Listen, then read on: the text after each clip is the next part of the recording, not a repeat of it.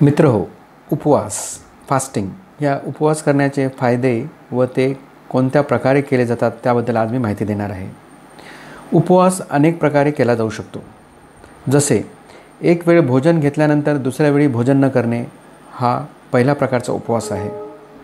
दुसऱ्या प्रकारच्या उपवासामध्ये असा की दोन्ही वेळी भोजन घ्यावे परंतु भरपेट खाऊ नये. तिसऱ्या प्रकारच्या उपवासमध्ये फळ अथवा दूध दही ताक यावरच राहावे. एवढेच खाऊन आपले उपवास करावे. चौथ्या प्रकारच्या उपवासामध्ये आपल्या भोजनातील एखादा पदार्थ कमी करावा. जसे डाळीमध्ये मीठ अथवा हळद टाकू नये भाज्यामध्ये मसाला टाकू नये केवळ उकडून घेतलेले फळं पालेभाज्या खावे अशा प्रकारे उपवास केला जाऊ शकतो. पाचव्या प्रकारच्या उपवासामध्ये दिवसभर केवळ पाणीच प्यावे. अशा प्रकारे आपल्या आवडीप्रमाणे आपण उपवास आवश्यक केला पाहिजे. पण आज आपल्याकडे उपवास म्हणजे साबुदाणा साबुदाण्याची खिचडी खाल्ली म्हणजे उपवास. भगर साबुदाणा खिचडी ह्या खाण्याच्या उद्देशाने किंवा हे खाऊनच आपण उपवास करतो आणि उपवासाच्या दिवशीच आपण भरपूर जेवतो भरपूर खातो.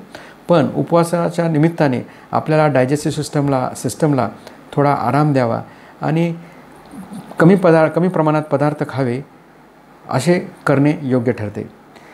उपवास नियमपूर्वक केल्याने आपल्या शरीरवरील आपले शरीर निरोगी राहील.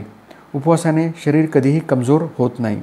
उपवास म्हणजे फास्टिंग आणि स्टार्वेशनमध्ये फरक आहे. स्टार्वेशन हा एक आजार आहे ज्याच्यामध्ये आपले नरिशमेंट कमी होते आणि त्याच्याने आजार पण येतो. पण उपवासामध्ये आपण कधीही कमजोर होत नाही.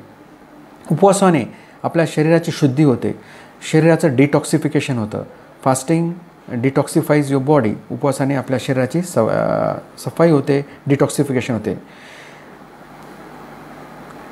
जर रोग्यांच्या निवारणासाठी मानसिक शांततेसाठी इच्छेनुसार आपण उपवास करणे गरजेचे आहे.